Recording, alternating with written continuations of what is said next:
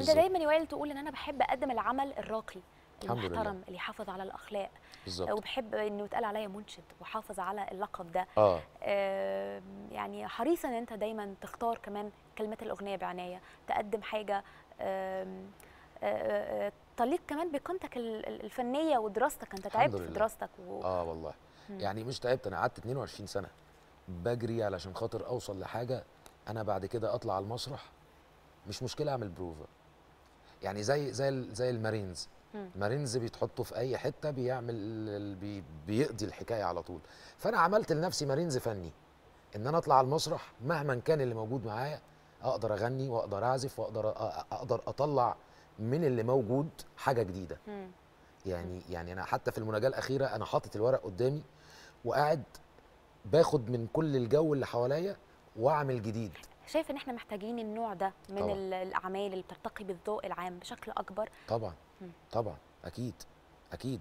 وده ما فيهوش كلام. ده هي ده ده هي يعني هيساعد كمان في رقي السوق العام. إيه رأيك في مستوى اللي بيقدم في الوقت الحالي؟ والله أنا شايف إن الحمد لله ابتدينا يعني في جزء ما ما أحبش أتكلم عنه عشان الناس ما تزعلش. بس أنا مش معارض. يعني أنا دايما بقول إن الجزء ده ده حاجة يعني اللي هو المهرجانات. يعني المهرجانات. المهرجانات. لا المهرجانات هي ما اسمهاش مهرجان ما فيش حاجة اسمها اسمها مهرجانات.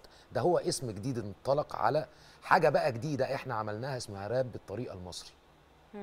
دي كانت تقدر تبقى كويسة جدا جدا لو قدرنا نجيب كلمة كويسة تخش البيوت محترمة. لكن معلش أنا متأسف الكلام ما كانش قد مستوى ال ال ال ال ال ال الفكرة الجديدة اللي هم عملوها. وأنا شفتهم من زمان جدا جدا مم. في مهرجانات راب بره مصر في أوروبا. مم. وأنا بشتغل مع أستاذ فتحي سلامة ومع أستاذ يحيى خليل. فكنت بسافر معاهم. فكان في مهرجانات إحنا بنشتغل بنلعب بنعزف فيها وبنعمل شو. أنا كنت بعمل شو إيقاعي كبير جدا جدا وعلى الأرض وعلى الإيقاعات وكده. وكنت الحمد لله رب العالمين ناجح شايف إن دي. المنع هو الحل ولا؟ ولا إيه؟ منع الأغاني دي ولا يبقى في طرق تانية؟ لا في طرق تانية. لأن ده راب بالطريقة المصري نوع جديد.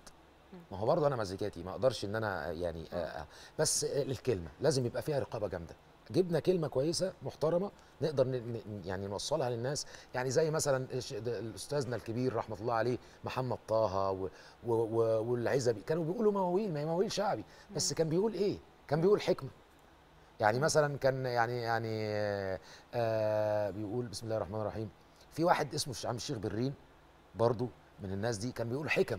فالحكمة كانت بتيجي مثلا زي إن بعتني يا عم وسط الناس غليني. خسارة الحر لو داسوا الزمان ورماه. تمام؟